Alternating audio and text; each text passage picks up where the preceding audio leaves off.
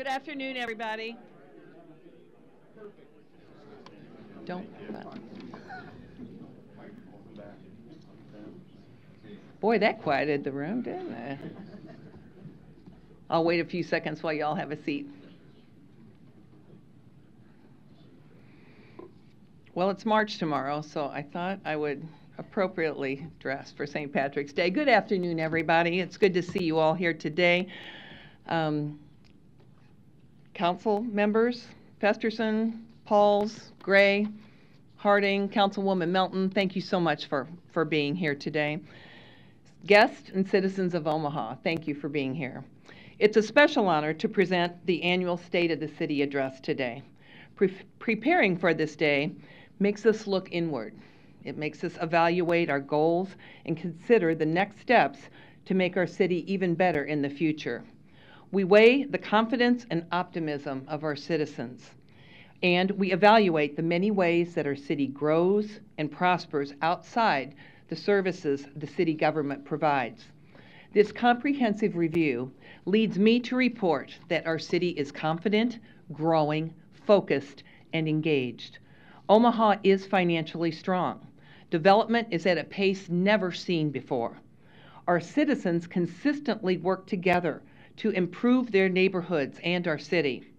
Our private sector and our public institutions are generally healthy, expanding, and successful. All of this is happening primarily because of one important word, and that's investment. The investments I refer to are public taxpayer investments. They are also investments made by local businesses to grow and hire more employees, and by our nonprofit partners, schools, and healthcare facilities that teach and train and care for others. They are also investments of time, volunteers, who help others in countless ways. For these reasons and more, Omaha is a thriving city with an exciting future. We can clearly demonstrate that investments in critical public objectives do pay off. One of the best examples of this is public safety. In the last seven years, we have devoted substantial resources to support our police and our fire departments. In 2013, Chief Schmaderer and I made a commitment to a fully staffed, equipped, and trained police department. We have now reached our staffing goal of 902 police officers, a record number, and an increase of 100 new officer positions. We have improved recruiting and training. We have adjusted staff responsibilities and purchased new equipment to help our officers do their jobs better and more safely and with more accountability. So has this investment paid off?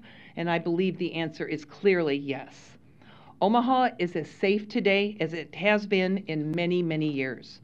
Our clearance rate, or our success rate at which we solve violent crimes, is nearly double that of cities of equal size. Over the last four years, our homicide rate has fallen to a 30 year low. Citizen complaints against police officers are down, and incidents of force are down, making Omaha a regional leader with a low number of officer involved incidences with a firearm. Police response times have improved, in part due to the West Precinct that we just opened in September. And this fall, we will break ground on a new fire station near 34th and Q Street in South Omaha. This will be the first new fire station that we have built in 20 years, and it will replace the 100-year-old station, Station 31, that is at 25th and L Street in South Omaha. We are pleased with our progress on public safety, but we are not content. The citizens of Omaha believe that public safety is our primary responsibility, and therefore it's our top, top priority too. All of us continue to address it with a healthy sense of urgency. It is also urgent that we act to improve and maintain the condition of our roads. And everyone knows what I'm talking about here. The safety and efficiency of our roads is a top priority for me and for our taxpayers. Improved transportation also meets my commitment to improve the taxpayer experience. My job as mayor is to identify and study issues that need to be resolved, and then to present reasonable solutions to those issues. Earlier this month, I proposed and the City Council approved a $200 million bond issue that will appear on the May 12th primary ballot. If approved by the voters, we will fund the city's first pavement maintenance program. Since I have been mayor, we have resurfaced more than 750 lane miles of roads. That's the distance between Omaha and Waco, Texas. But it's not good enough, and we must do more. For over 50 years now, previous administrations and city councils have not funded road infrastructure program worthy of a modern and first-class city that we have become. And we cannot afford to wait any longer. Spending millions of dollars every year to patch potholes will set us back even further. Last July, we started a series of public meetings and presented a roadmap to better streets. We studied our road infrastructure, what is needed to make long-term sustainable improvements, and options to pay for it. After an analysis, public meetings, and listening to our taxpayers, I am convinced that this is the right move to make. I don't take lightly the decision that we have placed before the voters, especially after implementing, eh, implementing two property tax rate reductions since I have been mayor. Keeping our taxes as low as possible is very important to me, and I know it's important to the City Council too. But so is providing the services that the taxpayers expect and deserve. We anticipate that the approved ballot measures will result in a levy increase of approximately $26 a year for the owner of a $100,000 home an aggressive pavement maintenance program where the public will see immediate and significant improvement is best funded by property taxes. The new work will address only our existing roads, the ones that we drive on every day today. With this level of funding, we can double the amount spent each year on road resurfacing. Every lane mile in Omaha can be resurfaced once every 20 years, which is the average lifespan of a road. And importantly, the plan will incru- include additional funding for unimproved streets that exist in some of our older Omaha neighborhoods. As a matter of principle, I believe the public should vote on large and expensive projects and facilities when taxes will change or a new financial risk would be assumed. In the coming weeks, we will schedule another series of town hall meetings to answer your questions and explain how this investment will further connect our city to the potential that is now before us. It is important that the voters make this decision. If you say yes, we can start work this summer. Building great partnerships is the way we get things done in Omaha. Nearly everything we accomplish benefits from the leadership, the financial support, and the vision of our valued partners. In 2020, we will see great collaboration in North and South Omaha to transform a once declining neighborhood and offer new, better quality of life. We are fortunate to have received not one, but two Choice Neighborhood Grants.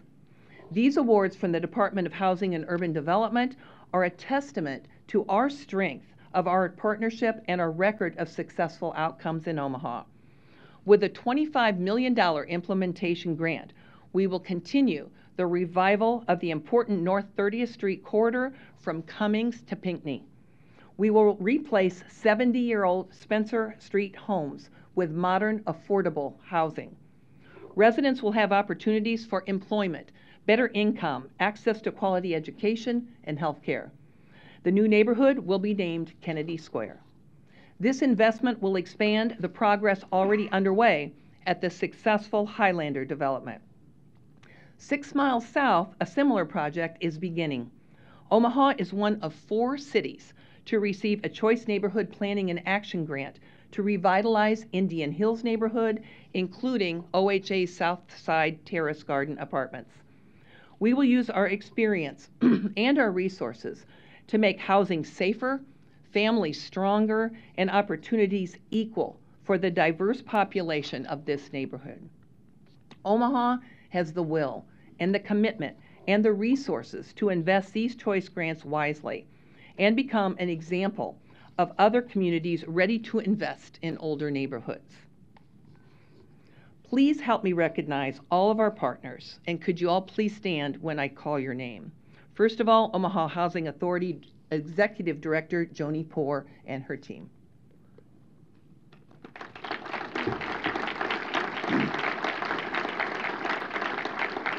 The OHA Board of Directors. That's a, that's a big board. Kristen Williams with the Sherwood Foundation. 75 North Executive Director Othello Meadows and his team. Way back there. Cesar Garcia, Executive Director of the Southside Redevelopment Corporation. and our Planning Director, Dave Fanslau, and his staff.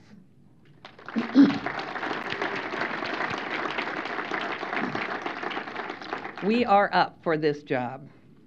We also now have citizen-led North and South 24th Street business improvement districts. The BIDs empower citizens to preserve and enhance their communities by developing projects and services that address the needs of their districts. The best ideas and plans often come from all of us working together. Omaha is also benefiting from exciting and unprecedented private investment. The Omaha World Herald recently referred to Omaha as a boomtown. And who doesn't love to hear that? Many developments in progress reflect the significant ways our city benefits from private investment, the Heartwood Preserve Project in West Omaha is a 500 acre housing, office, retail, and entertainment project near Boys Town. When fully complete, it will include over 2,000 new housing units with a project value of over $1 billion. The Millwork Common project in North Downtown is transforming an old industrial area into unique commercial uses. This $300 million project is a great example of how both growth and preservation can benefit our city. Also underway, the Builders District, the final phase of the Capital District, new projects in Benson and Blackstone, and the ConAgra campus. When faced with the challenge at ConAgra a few years ago, we did what Nebraskans do best. We created opportunity. Just this week, we broke ground on the $500 million development featuring retail, residential, a new hotel, beautiful green space, and a plaza connecting to the old market. This exciting project fits well with the mission of the 1,300 ConAgra employees who still live and work in Omaha. And very soon, we will make another announcement to expand Omaha's development momentum so stay tuned for that one. We always like to see new constructions and new headquarters appearing. But the real value of private investment in our city is the positive effect it has on small businesses, in jobs, in wage growth, in attracting and retaining young professionals. The ripple effect of private investment in a strong local economy benefit everyone. Here are a few examples. Employment growth is up over 3% compared to one year ago. The unemployment rate in Omaha remains at 2.8%. The average hourly wages have risen by over $1 since December of 2018. In 2019, the Omaha area was home to 48 new tech startups. And in 2019, the city issued over 20,000 building permits. The construction value of these permits is over $1 billion. And that is one of the highest amounts on record and the highest since I've been there. Business growth is vital for our future. In September of 2015, Carmen Tapio opened North End Teleservices, a locally owned business on North 24th Street that provides call center services to many sectors, including medical, financial, educational, and the United States government. She started with seven employees. Today, she has 120 full-time employees. 2020 will be a year for tremendous growth for her company. Carmen plans to increase her staff to 300 by late summer, tripling her workforce in three years. The starting hourly wages at North End Teleservices is $17.25 an hour, and that's increasing too to $19 an hour. She plans to expand her facility in North Omaha and open another center in South Omaha. Carmen Tapio is running the largest African American female owned business in the state of Nebraska. She offers good jobs, good wages, and opportunities for advancement. She has the only supervisor apprentice program in the entire state. She also offers tuition assistance for her employees and their families, and even offers transportation to and from work for her employees. When a company like North End Teleservices succeeds, our city succeeds. Carmen, could you please stand?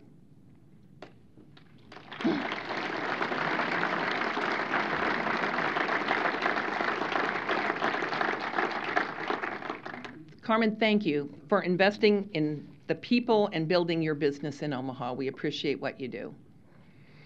To advance job training and employment opportunities, the city supports many programs.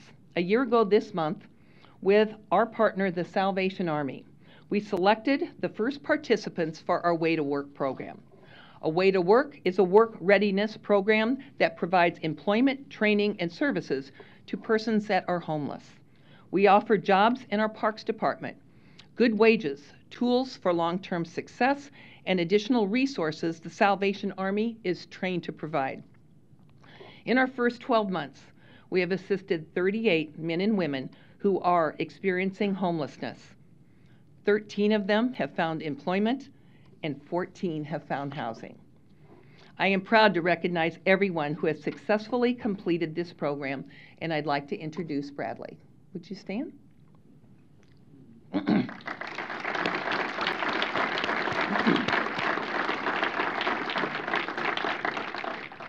Bradley lived at the Siena Francis House for over a year.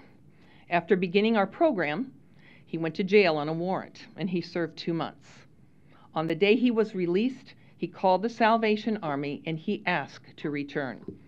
He successfully completed the program and trained at Metro Community College.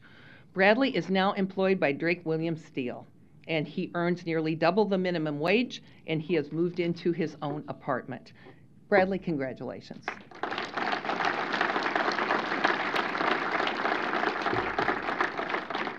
We wish you continued success. And thank you to the Salvation Army Major Greg Thompson for your support, Program Director or Coordinator Marianne Slack, um, and the Salvation Army team, and also our Parks Director Brook Bench and his staff. Could you all please stand?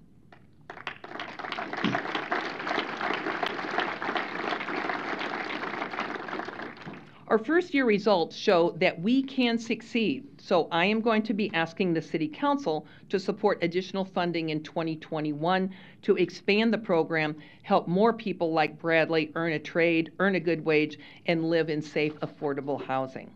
A Way to Work expands our commitment to workforce development, including Heartland Workforce Solution and the Empowerment Network Step Up Jobs program for teens and young adults. Today, I am very pleased to announce that we will make a new investment in an internship program for Latino students. A pilot program launched last year by the Latino Center of the Midlands has demonstrated early and impressive results. With support and funding from committed community partners, the program will expand this year to offer jobs, training, and mentoring to youth ages 16 through 19 years old. I will soon ask the City Council to approve an initial $25,000 for this program, joining partners including the Greater Omaha Chamber of Commerce, Heartland Workforce Solutions, Avenue One Scholars Foundation, Hawkins Construction, and Metro Community College. We have a history of supporting workforce training programs with established goals and partnerships. The Latino Center has provided services in Omaha for 50 years and has a measurable record of performance and success. The program meets or exceeds our funding requirements and will fill a much needed void. In addition to public and private investments, Omaha's dynamic philanthropic community plays a critical role in making our city one of opportunity and enjoyment. The generosity is extraordinary, and throughout Omaha, we see signs of this commitment. One example, Heritage Services and the city worked together to build the Siena Francis House shelter for those who are experiencing homelessness. Donors provided an impressive $18 million for the shelter. The city paid for infrastructure costs, including demolition of the former day service center and cleanup of the property. We cut the ribbon in December, and now 450 people can find shelter and receive services in a safe, respectful, and friendly environment. Our goal must be to end homelessness. Anything short of that is unacceptable. Work is well underway for the transformation of our riverfront with new parks, green space, entertainment, and recreation areas. This is one of the most significant projects in Omaha's history. This $300 million project, which is 80% funded by private donations, will forever change our city. And let me update you on many city initiatives that will impact citizens in the near future. In January 2021, our new solid waste recycling and yard waste collection contract will take effect. Step one, we awarded the contract to FCC Environmental Services. Step two, preparation for implementation is underway. FCC has ordered the automated trucks and covered carts and is in employment discussion with those who are currently working for our current contractor, Waste Management. Step three is implementation, and we will hold FCC to a high standard of service. This change in contractors and an entirely new collection process is a significant undertaking. I really appreciate the council's support of our thorough preparation for this change. We did environmental studies, professional evaluations, a pilot program, community meetings, and public testimony that led to the current contract that we have. This will be a big change for all of us, but we will be ready for a successful transition on day one. We are also implementing our new landlord registry and rental inspection program. Landlord registration started last month and will continue throughout the coming months. We have an estimated 80,000 rental units in the city of Omaha, and we have received approximately 23,000 registrations so far. The registration deadline is March, the end of March. Rental property inspections begin in 2022. We will be fully staffed to carry out the requirements of the ordinance. The first ever program for Omaha will benefit renters, especially the most vulnerable, while not being overly burdensome to the landlords. And we look forward to its full implementation. My recommendation to hire Omaha's first Vision Zero coordinator is now before the City Council. Our Active Living Advisory recommended that we consider a Vision Zero strategy to reduce and eliminate traffic deaths. I formed a task force and they made a recommendation to become a Vision Zero city and demonstrate our commitment by hiring a Vision Zero coordinator. And we are ready to do that.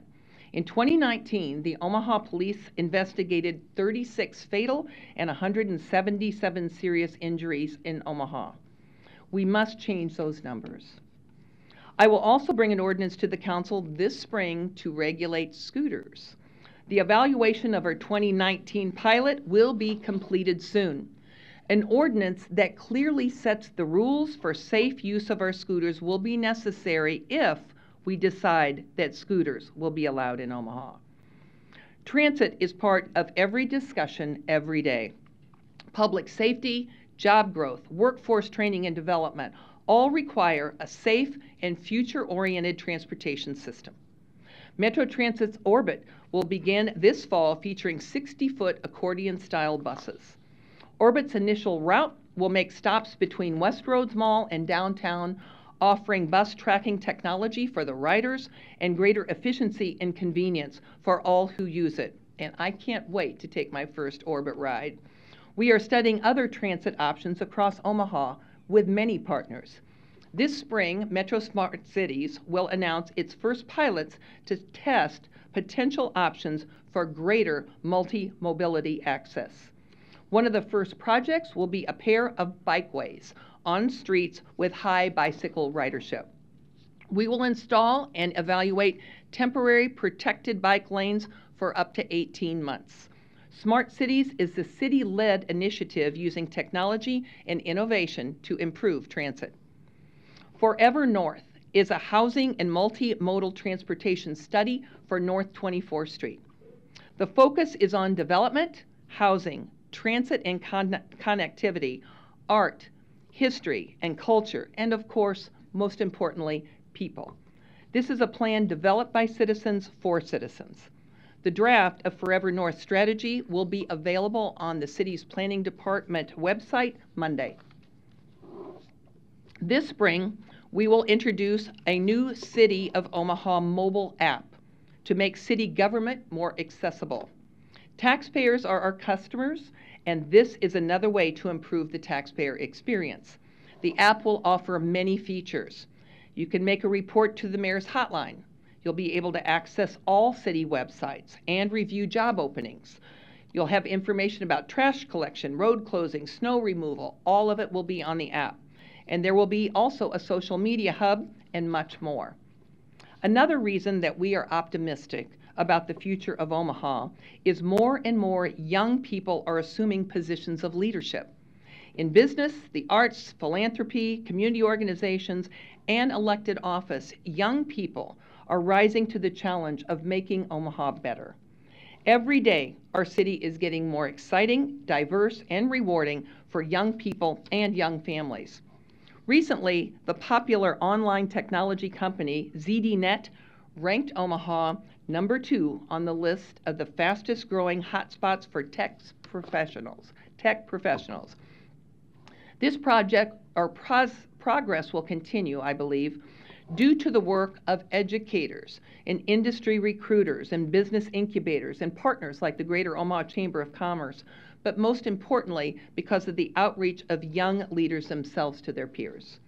Finally, I would like to express my appreciation to an institution in Omaha that is taking on important life saving work.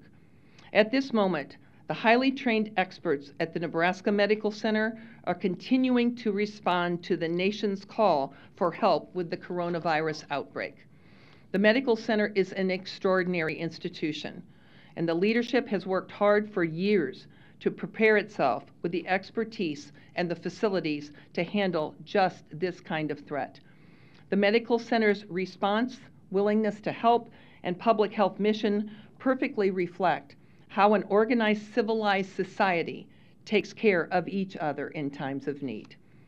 To the Nebraska Medical Center and its leadership and its talented doctors and nurses, thank you.